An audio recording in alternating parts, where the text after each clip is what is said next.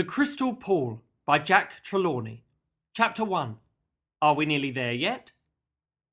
Are we nearly there yet? moaned Louis for the twelfth time. Stop asking that, scolded Tizzy. You are nearly eight, you know. Not long now, said Mr. Bennet, smiling patiently. Anastasia Bennet was called Tizzy for short. She was nearly eleven years old, and her brother Louis, who always had to tell people how to say his name, Louis, not Louis, when he first met them, was seven and three quarters. The Bennet family were going on holiday in their car. As they passed over the long bridge that spanned the River Tamar, there was a sign which had two words on it Cornwall and Kernow. Kernow is the old Cornish language name for Cornwall, explained Mr. Bennet. We'll soon be in the town of Newquay, which was once called Towan Blystra. My dad knows everything, thought Tizzy. Yes, and my friend Todd said there are real gnomes in Cornwall, enthused Louis. They live in people's gardens and come alive at night. And there are trolls and sea monsters and little people called piskies that only children can see. My brother doesn't know anything, thought Tizzy. Be a good girl and amuse your brother for a while, said Mum, handing her daughter a booklet. Here, show him all about the Eden Project. We're going there tomorrow morning. Look at these two huge white domes, Louis, said Tizzy, pointing at the front page of the booklet. Louis looked as Tizzy continued. They're so big that one has a jungle in it and the other has a desert. Louis was puzzled. How can they have a jungle and a desert in them? Because the scientists make it so that the climate is like a real jungle in one dome and like a desert in the other, explained Tizzy. What's a climate? queried Louis. It's the weather and temperature in a particular place, answered Tizzy. It's warm and wet in the jungle and hot and dry in the desert. Louis gave her one of his confused looks. But where do they get the plants? They collect them from all over the world and put them in the big white domes to live, said Tizzy. They've even brought back carnivorous plants from some places. What's carnivorous? asked Louis, screwing up his face because he'd never heard that word before. It means meat eating, answered his sister. If you get too close, they'll eat you, Louis. They like eating little boys. No way, shrugged Louis, pretending not to be bothered. Stop frightening your brother, Tizzy, cautioned Mum. You know he has nightmares. Tizzy went quiet, reading all about the Eden Project for the rest of the journey. Louis was quiet too. He was thinking about carnivorous plants and wondering whether they really could eat people. Chapter 2 Echo Cave An hour after crossing the Tamar Bridge, the Bennets arrived at the hotel and parked the car. When they were unpacked, Mrs. Bennet asked them what they wanted to do first. Beach, said Tizzy. Beach, said Louis. Beach, said Dad. Beach it is then, said Mum, with a big smile. Mrs. Bennet made sure they had everything ready the surfboard, the blow up shark, Louis's float, the big towels, and the picnic basket. Then she picked up her little red beach bag and led the way to the front of the hotel. On the short walk to the beach, Louis looked at the seagulls. Tizzy listened to the roar of the sea. Dad smelt the fish and chips. And Mum admired the wonderful view over the bay. When they arrived at the beach, Louis and Tizzy changed into their swimming costumes and asked if they could go exploring before they went in the water. All right, but make sure you can see us all the time, warned Dad. Race! shouted Tizzy, and set off running towards a big cave with Louis chasing after her. Tizzy was a very good big sister, and she slowed down a little so that she and Louis both got to the mouth of the cave at exactly the same time. For some reason, though, Tizzy was hesitant to go any further. She had a strange feeling that something was wrong. As usual, Louis just went straight in, with neither thought nor feeling to hinder his progress. Come out of there, Louis, pleaded Tizzy. Dad said we must be able to see them all the time. I can see Mum and Dad from in here, reported Louis, from atop a pointed rock towards the back of the cave, his words echoing around the walls to his obvious delight. Come in and stand on this rock, and you'll see I'm telling the truth. Or are you scared? Despite her own reservations, and although she thought Dad might be cross, Tizzy made herself go into the cave. She was determined not to be called a scaredy cat by her little brother. He'd definitely go on about it for the whole holiday if she didn't go in. On braving the cave, Tizzy saw Louis's pointed rock, which was covered in seaweed and surrounded by a little pool. Drips of water plopped into the pool from the roof of the cave, making ripples as they splashed. She put her toe in the water and immediately took it out. I can't do that. It's freezing, she complained. Close your eyes and it doesn't feel as cold, advised Louis. That's what I did. Tizzy didn't think that closing her eyes would stop the pool being cold, but tried it anyway. She summoned all her courage and stepped into the water. It was just as cold with her eyes closed. She waded five shivering steps to the rock and Louis stretched out his hand to help her climb up it. Tizzy and Louis stood on the big rock surrounded by the icy cold pool. Pop! Pop! The seaweed covering the rock popped every time they moved their feet. Hello! shouted Louis. Hello! replied the cave. I'm going to call it Echo Cave, declared Louis. Okay, agreed his sister. That's a good name. Inside the cave, it was very dark. They both looked out towards the bright and sunny beach. It's like looking out of a tunnel, said Louis. Yes, said Tizzy. And the good thing is, we can still see Mum and Dad. Suddenly, they heard a rustling sound from the back of the cave. Someone or something was in there with them. Chapter 3 Gwythian Sand Who's there? whispered Tizzy. It could be a cave monster, exclaimed Louis, as if half hoping it would be. There was another rustling sound at the back of the cave.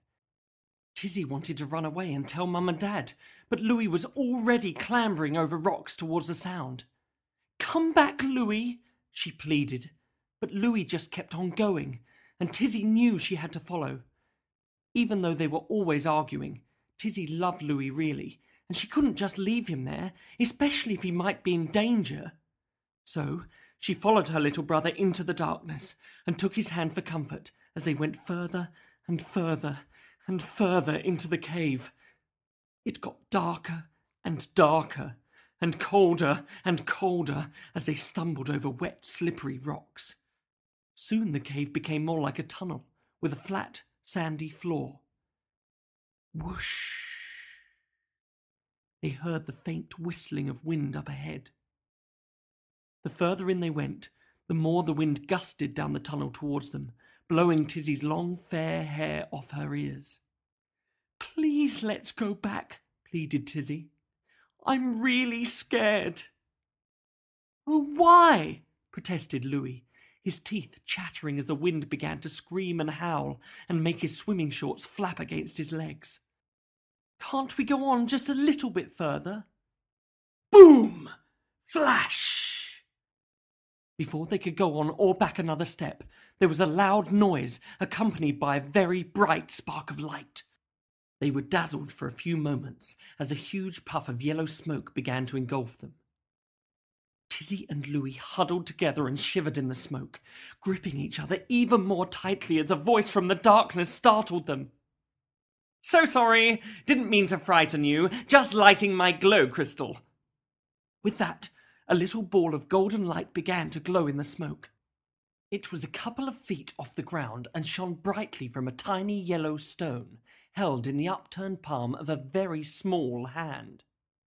The light became even brighter allowing them to see who was speaking. It was a diminutive man, not much taller than Louis, with bow legs and extra large ears which stuck out at the sides of his long, grey, bushy beard. He wore a monocle in his right eye and squinted at them through it. Who are you? asked Tizzy. What are you? asked Louis. A pisky? I most certainly am not, replied the little man, apparently offended. Troublesome little things, piskies. Let me introduce myself. I am Gwythian Sand, the king's chief surveyor and map maker.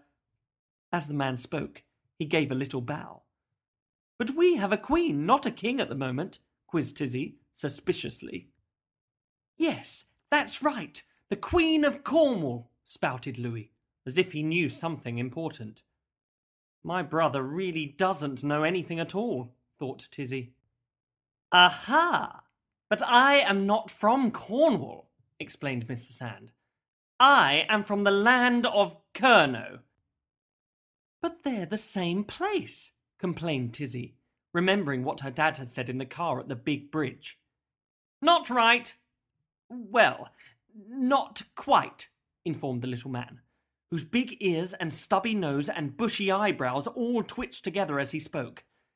Kernowland is like Cornwall in some ways, but it is altogether a very different place. What's it like? asked Louis enthusiastically. He believed the little man without question, because he wanted to believe. Kernowland is a place of wonder and magic, enthused Mr. Sand, with a big, friendly smile. And just where is this Kernowland supposed to be? queried Tizzy, in her most important sounding voice, whilst at the same time trying not to sound rude. And if you live there, what are you doing here? I'm. I. I. I'm just exploring the caves, stuttered Mr. Sand, as if a bit flummoxed and flustered by Tizzy's tone. Anyway, have to be on my way now. Must get back to Kernowland. Take this glow crystal, and you will be able to find your way back to the beach. Bye bye, children. Gwythian Sand turned about and hurried off down the tunnel, waddling as fast as his little legs could carry him. When he neared a bend, he glanced back over his shoulder as if to make sure they weren't following him, then rounded the corner and disappeared out of sight. Chapter 4 The Glistening Cavern.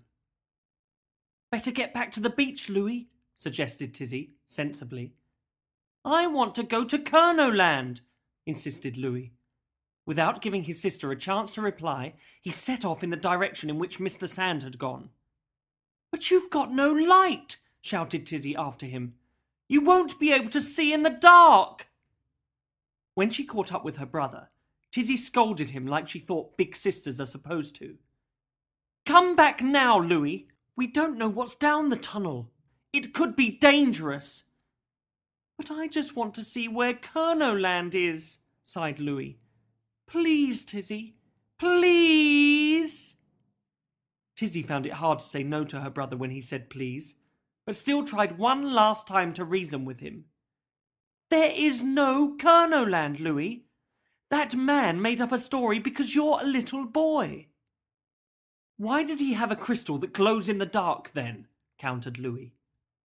Tizzy had to admit that it was quite a good question, and she hadn't actually thought about it herself.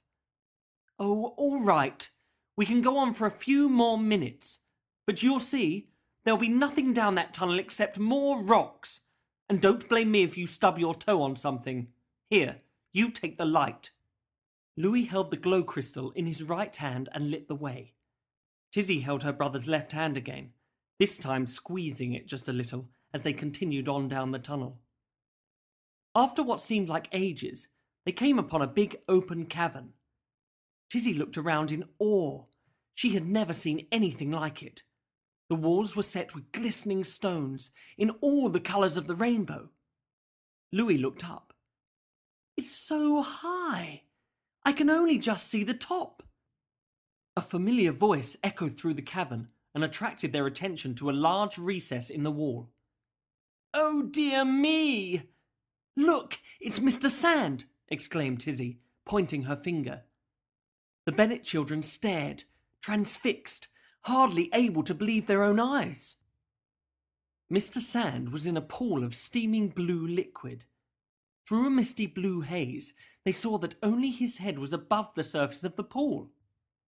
He was looking in their direction, with an expression of great worry on his face, as if concerned that they should see him doing what he was doing.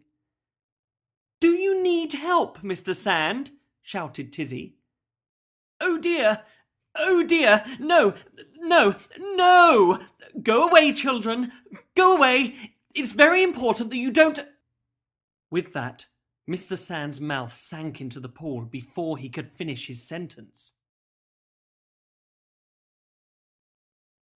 Chapter 5 The Crystal Pool Louis ran towards Mr. Sand, but by the time he got there, the weird little man's head was completely submerged. Strangely, what had been a pool of blue liquid only moments earlier was now a solid slab of blue rock which sparkled and twinkled even brighter than the cavern walls. Before Tizzy could stop him, Louis was standing on the slab, stamping his foot up and down on the solid stone. How did he disappear into it, Tizzy? It's all hard. I don't know, Louis. Now just get down off there. You can't make me. Oh, yes, I can, young man, admonished Tizzy in a voice she had heard her mother use so often. She stepped onto the blue slab to try to move Louis off it. Don't be silly, Louis. Let's go back to the beach. I really have had enough of this now. But I want to go to Kernowland, shouted her little brother. At that very instant, the hard blue rock beneath their feet began to hiss. Tizzy screamed and tried to step off it, but the rock was now sticky like glue, and her feet were stuck to it. The rock got softer and softer until it was like runny jelly at the top, but still quite firm under their feet.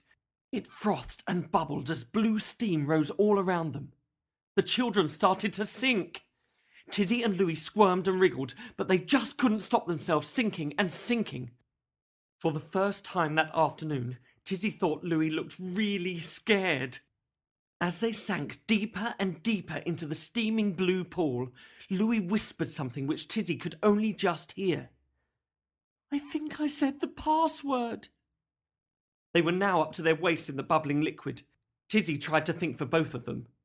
Bend your knees and jump as high as you can and try to grab onto the side and pull yourself up, Louis, she instructed. She tried. Louis tried. Their feet were still stuck to the hard part of the rock. I can't do it! I just can't! shouted Louis, with a look of panic on his face. Whatever you do, Louis, hold your breath for as long as you can, and close your eyes, and pinch your nose like this. Copying Tizzy, Louis put his fingers over his nose and squeezed. His chin started to sink into the rock before Tizzy's because he was shorter than her. I'm scared, he whimpered. Just hold your breath, said Tizzy. Hold your breath! She wasn't quite sure why, but she also said, You're the best brother in the world, Louis. Tizzy watched in horror as her brother's head went under the surface of the steaming, frothing, bubbling blue liquid. She held her breath as it began to cover her chin. A little tear whirled in her eye and she began to cry. I don't want us to die, she sobbed quietly. Chapter 6 Still Alive. Then, for no apparent reason, the hard part of the rock under their feet began to rise up again. Tizzy emerged from the bubbling, fizzing blue pool before Louis. First the top of her head, then her brow. When her eyes rose above the surface, she opened them and looked around. Just a few more seconds to hold her breath and she would still be alive. she gasped as her mouth was once more able to breathe air. She hoped and hoped that Louis would be all right. It seemed like ages that they had been under the surface. Then Louis's head emerged from the pool, followed by the rest of him. The pool began to solidify under their feet, and soon, after a lot more hissing, they were standing on a firm slab of twinkling, sparkling blue rock again. Oh, Louis, you're all right, sighed Tizzy, as she put her arms around her brother in a gesture of relief. Yeah, said Louis, nonchalantly, trying to wriggle away from his sister's hug. I didn't know you could hold your breath for so long, Louis. You were in there longer than me. Well done. I can't, admitted Louis. When I couldn't hold my breath anymore, I just started breathing. It was easy. Tizzy gave Louis one of her don't be so silly looks, so he changed the subject. Where are we? Do you think this is Kernowland? Shh, said Tizzy, putting her hand over his mouth. That was the word that made us sink into the rock before. They both looked at each other expectantly and got ready to sink again. This time, though, the word didn't have any effect. The rock didn't hiss or steam or get sticky or soft. It just stayed as it was, hard and cold. Tizzy sighed with relief. From the look on his face, she could see that Louis was slightly disappointed. I'd still like to go to Kernowland! he shouted defiantly, as if having one last go at getting there. Look, we're in exactly the same place as before, reasoned Tizzy. The cavern is exactly the same, and you've still got the glow crystal. What should we do now? We'll use the glow crystal to get back through the dark tunnel to Echo Cave. Then we can throw the crystal away and go and see Mum and Dad. They're going to be cross that we've been away so long. Yes, so you'd better not tell them about Mr. Sand, and the glow crystal, and the sinking rock. Agreed? Agreed, nodded Louis. He certainly didn't want to get into any more trouble than they were in already. Right, so give me the crystal. As Louis handed over the glowing yellow crystal, Tizzy noticed that its light had got much dimmer. It looks like it might go out soon. We'll have to hurry. They set off down the tunnel back towards the beach. There had been no wind in the high cavern, but for some reason the long tunnel was very windy, just as it had been before. The howling wind pushed them along from behind. They reached Echo Cave just as the light from the glow crystal finally went out. The sunlight streamed in through the cave entrance. Tizzy threw the little crystal over her head towards the back of the cave, where it plopped into the icy cold pool. Right, let's go and see Mum and Dad, she sighed, very relieved to have got back to where they started from. But as they looked out from the cave along the beach, there was no one to be seen. The buckets and spades had gone. The people and towels had gone. The ice cream van had gone. Mum and Dad had gone. Chapter 7 Bumps on the Beach. Outside Echo Cave, thunder roared overhead as it began to pour with rain. Heavy droplets pelted down on the rocks. A waterfall soon covered the cave entrance like a big, wet curtain. Tizzy and Louis glimpsed the deserted beach through the torrent of water. Mum and Dad and everyone else must have gone because they thought it was going to rain, said Tizzy, trying to make Louis feel better. But why did they leave us here? worried Louis. Because you're with me and they know I'm old enough to be sensible, reassured Tizzy, not quite sure that she was entirely right. When the rain stops, we can go across the beach and up the cliff steps to the town. The hotel isn't far. Okay, agreed Louis. I just want to see Mum and Dad now. While they waited, Louis started asking who, what, and why questions. He was always doing that when he was curious or bothered about something, and Tizzy usually dismissed him as much as possible, as if she wasn't really interested in his childish questions. But secretly, with all that had happened, she was now a little bit more interested in finding out the answers herself. Who do you think Mr. Sand is, Tizzy? He's probably a Cornish person who likes going in caves and scaring little children like you. But why is he so short? And why did he have such funny clothes? And that funny hat? I think he could be a gnome. Lots of Cornish people are short, and gnomes aren't real. What about the glow crystal? Crystals don't do that on their own. It was probably a toy, something from a joke shop. It might have had a tiny battery somewhere inside it. I'm going to find it again decided Louis, before making his way towards the back of the cave. It was darker there, and he couldn't see too well. He started paddling around the icy pool, trying to find the little yellow crystal with his feet as he asked more questions. What sort of rock do you think that round blue rock is? I don't know, but there are lots of things we don't know. Grown ups probably know all about them, but we can't ask anyone because you promised not to, didn't you, Louis? We'll look it up on the internet when we get home. But rocks don't go soft, and you can't slide into them, and you can't breathe inside them. And we don't know that for certain, Louis. Let's just wait and see. Come on, the rain has stopped. They stepped out of the cave into the bright sunshine. Look, said Louis, pointing up to the sky. There, flying low and heading for the cliffs, was a huge black bird with a red beak and red feet.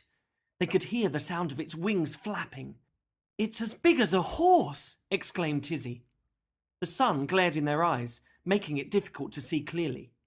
Louis wasn't sure, but he thought there was a man riding in a saddle on the bird's back. We have come to another place, Tizzy, he said in amazement.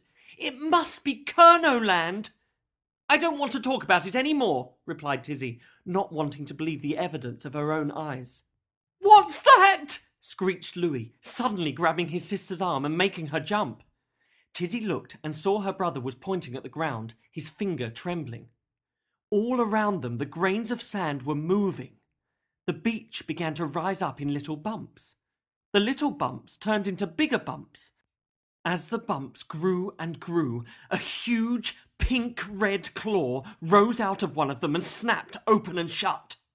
Two large, cold, black eyes followed it. Then a pair of pincers emerged in front of a big mouth. All around them, claws and black eyes and pincers and big mouths were rising out of the sand. Suddenly, the sand right under their feet started to shift and rise up. Run, Louis! shouted Tizzy in terror. They're giant crabs! Chapter 8 The Knotted Rope Tizzy jumped off the rising sand and ran towards the cliff where the steps had been. Louis followed as fast as he could. Behind them, the giant crabs were now completely out of the sand and chasing them up the beach. The crabs moved sideways, snapping their claws and making a squeaking noise with their pincers as they moved them in and out. Louis glanced behind him. The crabs were opening and shutting their red mouths, which dripped with a gooey liquid as if they were hungry. Ah! Louis cried out. Tizzy looked behind her to see Louis sitting on the sand clutching his foot. It was bleeding. He had tripped and fallen about halfway to the cliff. A tear welled in his eye as the blood trickled between his fingers. Help me, Tizzy! he shouted. I've cut my foot on a shell! Louis tried to get up. In his haste, he slipped on the sand again and fell back down. Tizzy ran to help him. She now saw that lots of blood was oozing from the cut. Tizzy put Louis's arm around her shoulders and helped him get to his feet. He began to hop up the beach towards the cliff, with Tizzy helping him as much as she could, but the two of them were going much slower now. The crabs were gaining ground and catching up with every second. Tizzy heard the snapping of the claws and the squeaking of the pincers getting nearer. Faster, Louis! We must go faster! Finally, they got to the part of the cliff where the steps had been. Where are the steps? whimpered Louis. They've gone! We'll have to climb up instead, urged Tizzy, as she began to scramble up the cliff. Come on, Louis! Louis reached out his hands and put his good foot on the rock. Then he took hold and pulled himself up and put his bad foot down on it. Ouch! Tizzy heard Louis cry out as she continued up the cliff. Quicker, Louis! We must climb higher to get out of reach of the crabs! I'm trying, but my foot hurts! Here, take my hand, offered Tizzy, stretching out her arm. As her brother took her left hand, Tizzy held on tightly with her right and pulled as hard as she could. It was lucky she did, because a giant crab was just about to snap its claws onto Louis's leg. Clunk! The claws came together with a crunch. When this crab missed clamping onto Louis's leg, it seemed to give up and just lay down at the bottom of the cliff face. Tizzy was relieved to see that the crabs weren't trying to get them anymore. But then she saw that a second giant crab climbed onto the back of the first, and a third climbed onto the back of the second. Tizzy couldn't believe it. The giant crab seemed to be building a piggyback tower in order to reach them. As long as we can climb up and get to the top, we'll be okay, she assured Louis, although her whole body was shaking with fear as she continued to climb in panic. Glancing down, she saw that the crabs were only inches away from Louis's feet. Faster, Louis! Climb faster! I'm trying! Just then, a thick rope with lots of knots along it flopped down beside them. Someone shouted from the top of the cliff. Hold on, children. We'll soon have you out of there. Grab the rope, Louis! screamed Tizzy as she grabbed hold of it herself without really thinking. I've got it! shouted Louis from below. Pull us up! Please! Please! screamed Tizzy. The rope started to move upwards, with the two children hanging on tightly. They were halfway to the top of the cliff before Tizzy thought of something which she whispered down to Louis as quietly as she could. We don't know who it is up there. Chapter 9 Melancholy Drim and Spiky as they neared the top of the cliff, Tizzy became more and more worried about who was pulling on the other end of the rope. When they reached the top, the last bit was grassy, and her head was suddenly being dragged through the grass, forcing her to close her eyes. When she opened them, she saw who had been pulling on the rope. It was a man with grey skin and a horrible smirk on his face. Run, Louis! Run! But the tall, skinny man had long, gangly arms, and he grabbed them both by the ears with his grey, bony fingers as they tried to get away. Louis by his left ear, and Tizzy by her right. He lifted his hands up so that they both had to stand on tiptoe to stop it hurting so much. Ah, what have we here, Dribble? he sneered to his dog. Kids with golden hair. I've never seen the like of these two before. They'll likely fetch a good price at the slave market. Pigleg will pay handsomely for them, I'm sure. Oh, yes, he will. Grr, growled Dribble, as if he disapproved of what was happening. The man snarled and kicked the poor little dog with his pointed shoes. The dog yelped and cowered submissively. Tizzy hoped the man would not hurt the little dog again. Yes, very good price, said the man menacingly, bringing his long pointed nose right in front of Tizzy's face. He stared at her with his cold, dark, bloodshot eyes, and she was so scared she began to sob. Louis saw that the man was frightening his big sister.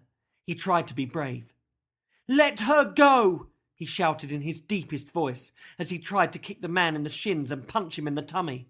But the man just pulled on Louis's ear a little harder, and he had to stop kicking and punching because it really hurt. Let us go, please, begged Tizzy. We haven't done anything wrong. All children have done something wrong. Oh, yes, they have, growled the man as he dragged them screaming towards a track that was a few yards from the cliff edge. Tizzy saw that one way the track led down to a little town of round houses with thatched, cone shaped roofs. A sign pointing in that direction showed that it was Towan Blystra. The other way the track went around a hill which rose above the cliff, so she couldn't see what was on the other side. Tizzy looked at the man's rickety wooden cart. Harnessed at the front was a scruffy looking brown horse. The back of the cart was filled with all sorts of rubbish. The man pointed to a pile of rotten old rags. Get in there and put those clothes on, he said. Out here in this weather in your underwear? Whatever next? Don't want you to get sick, do we? Oh, no, we don't. Want you in prime condition for the market? Oh, yes, we do. Tizzy and Louis didn't move. You'll do as I say, or you'll feel the wrath of Spiky. Oh, yes, you will, growled the man. They both looked at the pointed stick that the man was wielding. Tizzy nodded to Louis that she thought it best to do as they were told. The man grinned another horrible grin. That's better. They don't like the look of you, do they, Spiky? oh, no, they don't. When Tizzy and Louis had chosen and put on their smelly old rags, the man clicked thick iron rings around their ankles and turned a big key in the locks. They were now securely shackled to the cart. The stench of the rubbish was horrible. The man tore off some strips from other old clothes in the pile. He rolled the strips up climbed on the cart, and tied Louis's hands together. Then he put the middle of one strip in Louis's mouth and tied the two ends behind his head. Louis's foot was still bleeding. He was trembling, and Tizzy felt very protective towards her little brother. Please don't put that on him, sir. We promised to be quiet, she pleaded. Huh. Kids always make promises they don't keep, he sneered. Do you think I was born yesterday, little lady? Well, I wasn't. Oh, no, I wasn't. As he tied Tizzy's hands together and put a gag in her mouth, she noticed for the first time that the man smelt worse than the rubbish in his cart.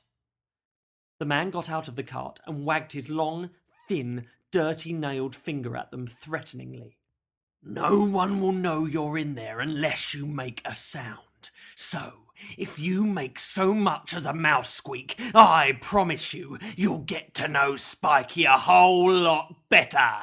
And Melancholy Drim always keeps his promises. Oh, yes, he does.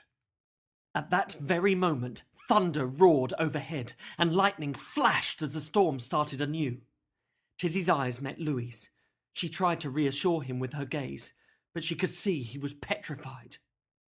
Then a big canvas cover was pulled over the back of the cart, and they were in darkness.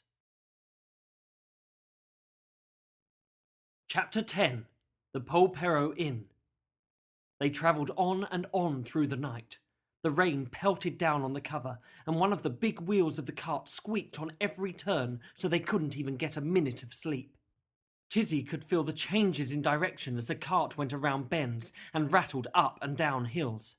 Occasionally it bumped and banged over cobbles, which made her think they might be going through towns as well as countryside. When the rain stopped, she hoped she might hear someone friendly, but all was quiet. There was not so much as a whisper from outside, and Tizzy started to think they were never going to escape. She didn't want to be a slave. Questions raced through her mind. Where were they being taken? Who was Pigleg? It seemed like the smelly, rickety old wooden cart had been going on forever before they rattled over hundreds of cobbles as they bumped and banged down a steep hill. Tizzy heard the sound of lots of people who seemed to be having some sort of party. The noise got louder and louder as they approached the bottom of the hill. The cart stopped, and Tizzy could now hear that the people were shouting and singing at the top of their voices. Inside the cart, under the cover, it had been pitch black all the way, but Tizzy could now just see through a tiny hole that there were flickering lights outside. She heard Melancholy Drim jump from the front of the cart. His heels clicked on the cobbles as he strode slowly round to the back. The nasty man lifted the cover. A flaming torch in his hand lit up his greasy black hair and horrible grey face. Tizzy had to squint because the light was so bright. Right, Let's get you out of there, he said coldly as he threw back the cover, climbed on the cart, and turned the key in the shackles around their ankles. We'll get 'em sold off quickly tonight, Dribble. Oh, yes, we will. Lots of crews in port. Oh, yes, there are. Ten crowns apiece we'll get for golden haired children. Oh, yes, we will. Leaving their hands tied and gags on, Drim pulled them by their ears again to make them stand up. Tizzy winced as she was forced to her feet. She could now see where the lights were coming from. There was a sign over the door the Polperro Inn. Drim forced them down off the cart and dragged them across the cobbles, pulling roughly on their ears all the while. Heel, Dribble, growled the grey man, pointing to the back of his dirty black shoe. The little sausage dog did as he was told. They went under an arch and round to the back of the inn. Here Drim discarded his torch and gave three strange knocks as if it were some sort of signal. A fat, rosy cheeked woman came to the door carrying a lantern. She wore a low cut blouse and a full length skirt which dropped down to her ankles. Tizzy thought she looked like someone from three hundred years ago, or even more. Why, Mr. Drim, what brings you all the way to Polperro at such a late hour? questioned the woman, in such a manner that Tizzy thought she already knew the answer. Good evening, Mrs. Maggot, said Drim, as he tugged on Tizzy and Louis's ears so they came into the light of the lantern at the door. I'm seeking the opinion of a ship's captain as to the value of two small animals I have for sale. Usual share for you and Mr. Maggot, of course. Oh, well, you should have said sooner, said Mrs. Maggot, grinning greedily, eyeing Tizzy and Louis as if she were hungry and just about to eat her dinner. You don't often see golden hair like that in Kernowland, Mr. Drim. They look to me like angles from east of the Tamar. What are you doing with them? Washed up on the beach. Oh, yes, they did, said Drim as he dragged Tizzy and Louis into the back room of the inn. I saved them from the climbing crabs, and now they're going to repay me. Oh, yes, they are. Tizzy didn't like the look of Mrs. Maggot any more than she liked Drim, but she was desperate and tried to ask for help. Mmm, mmm. But the sound came out all muffled by the gag in her mouth. Melancholy Drim glared down at her and nodded to the pointed stick that was stuck in his belt. Remember, I have Spiky with me at all times. Oh, yes, I have. Tizzy wanted to hold Louis's hand to give him some comfort. He seemed to have given up now and was just looking at the ground all the time. She looked at the ground too, so as not to give their captors any reason to hurt them. Mrs. Maggot led them through another dark room with her lantern. Then she opened another door, and suddenly they were in the main room of the inn, which had a very low ceiling and exposed timber beams. Tizzy choked a little and raised her head in the dimly lit, smoke filled room. All the noise and talking and singing stopped. A fire crinkled and crackled in the corner. Everyone was staring at them. They looked like pirates. Chapter 11 Slaves What have we here, Mrs. Maggot? asked a stout man wearing a big apron with bloodstains all over it. Tizzy thought he looked like a butcher. Why, Mr. Maggot, we've some small creatures for sale, property of Mr. Melancholy Drim, said his wife. Well, well, what a pleasant surprise on this dull evening. Bring 'em forward so we can all assess their value. Some of the people moved the tables to the side, leaving only one chair in the middle of the room. All the people now formed a circle around the chair. The noise got louder as the excitement grew. Drim needed no further encouragement. He pulled Tizzy and Louis forward by their ears and removed Tizzy's gag and ties, throwing them to Dribble, who caught them in his mouth. Drim then pushed Tizzy into the centre. Ladies first, he sneered. Stand on that chair. Tizzy did as she was told. She looked at the floor, quivering from her head to her toes.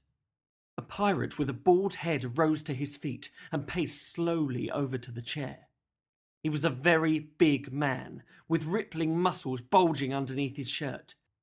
He was a foot taller than Tizzy, even though she was standing on the chair.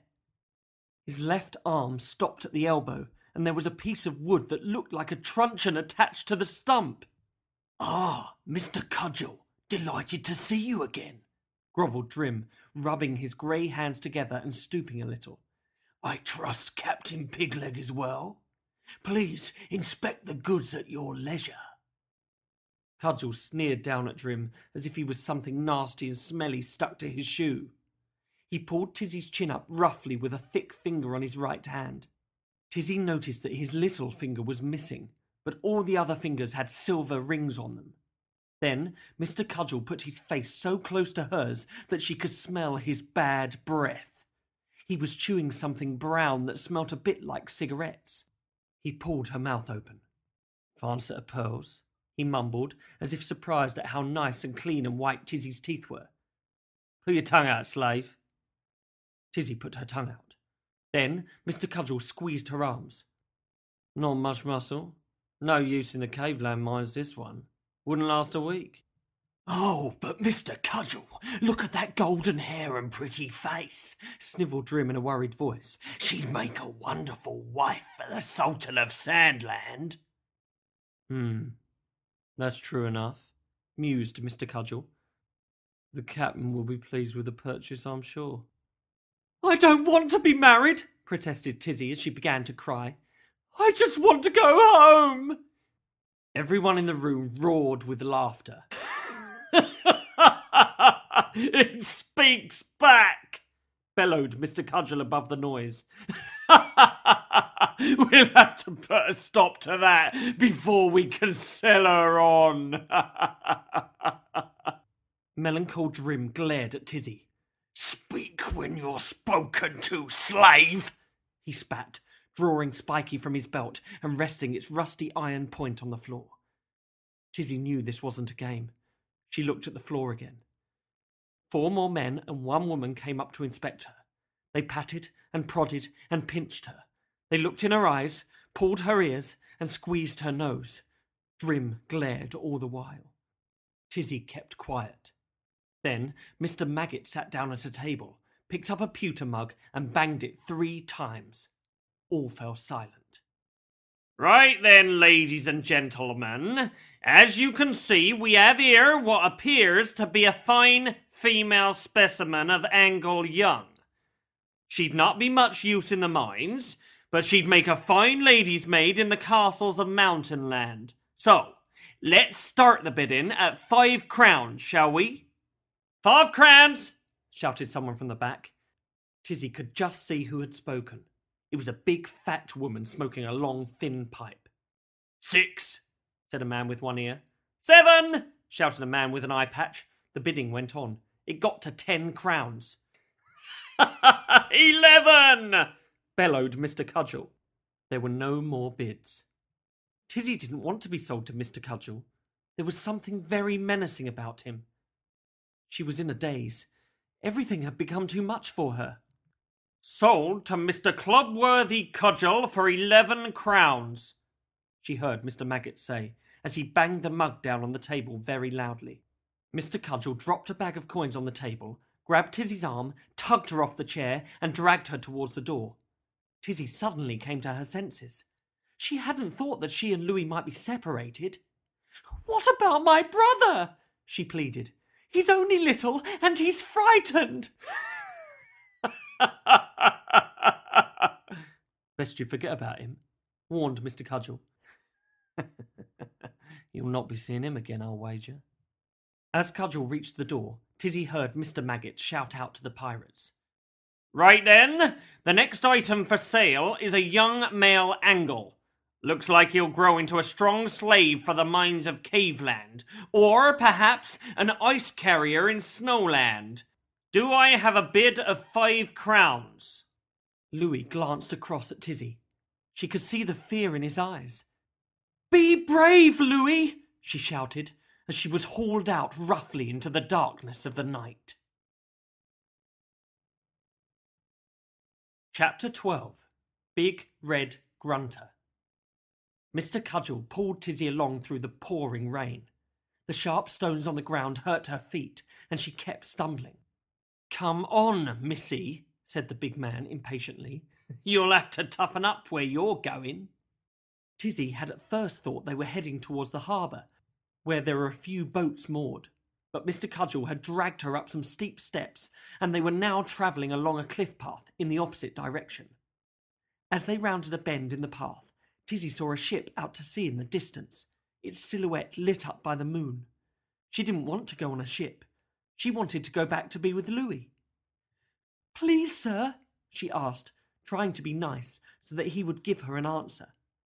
Where are you taking me? And, and, who is Captain Pigleg? Suddenly, Mr. Cudgel flew into a rage. He shook Tizzy by the shoulders and threw her to the ground. As she lay there, petrified on the sandy path, thunder roared in the distance. Lightning flashed as Mr. Cudgel pointed a thick finger at her and curled his lip. You'll speak when you're spoken to, slave, he snarled. The captain'll teach you some manners with a lash and no mistake. I'm sorry. I'll be good, promised Tizzy trying to pacify the big, angry man. She didn't like the sound of the lash, which was a sort of whip as far as she knew. That's better, growled Mr. Cudgel, heaving Tizzy to her feet. Now, let me tell you about Captain Pigleg, so as you know the man who's to be your new master, and you can show him some respect. He's the toughest, bravest, meanest pirate ever to sail the seas. You'll be wondering why they call him Pigleg, won't you? Well, the captain had made port in Jungle Land, see? Then he went a strolling on a path near the jungle after visiting the local inn. Suddenly, out of the dark, shadowy trees, a wild boar moved onto the path, grunting and sniffing and itching for battle. The captain could see straight away it was the one the jungle landers call Big Red Grunter, on account of his being thrice the size of any other boar in the jungle, with a hide redder than blood.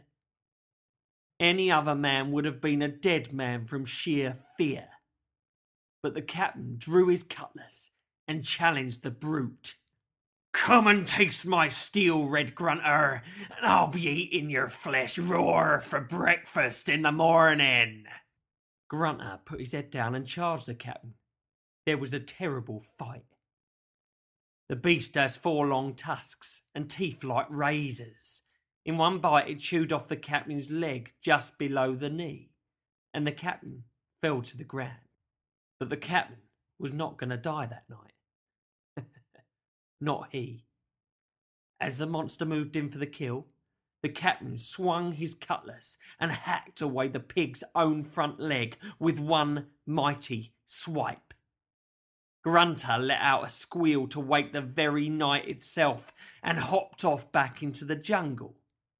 At daybreak, the search party found the captain lying in a pool of blood. He had his cutlass in one hand and Big Red's leg in the other. When the captain awoke and saw he had no leg, he knew what he had to do. A leg for a leg, thought he. So the captain cut off the flesh and made a peg leg from the blood stained bone with the beast's hoof still on the end of it. From that day on, he was known as Captain Pigleg, and you can hear him coming by the click of his hoof on the ground every second step. And that's the legend that everybody in Kernowland and the whole of Erthwurld knows, except you, it seems. Tizzy's eyes opened as wide as they would go, and she thought for a few moments about what she had just learned. She risked another question. Can I ask what happened to Grunter, sir? Ah, well, that's another story. The beast has become a mad thing. It terrorizes the villages all over Jungle Land. Hates humankind. Eats people whenever it can. And it especially likes taking the young children. The tender meat. But Grunter doesn't kill him quickly. No.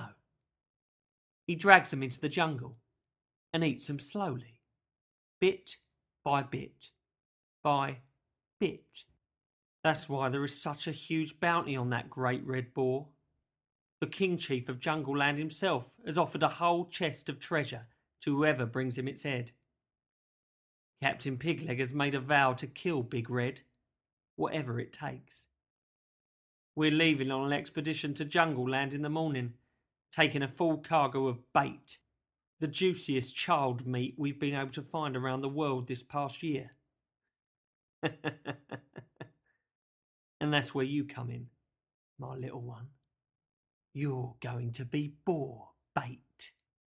Tizzy went quiet, thinking deeply about everything Mr. Cudgel had told her. She could almost feel big red Grunter's teeth ripping and tearing at her flesh.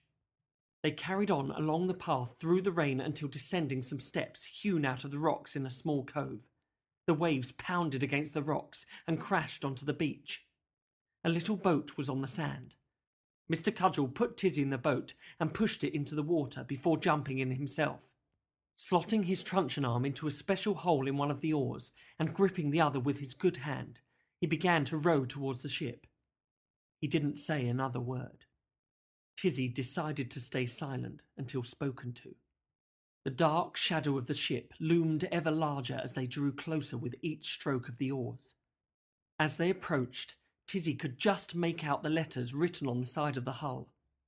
The Revenger. A rope ladder dropped down over the side of the ship.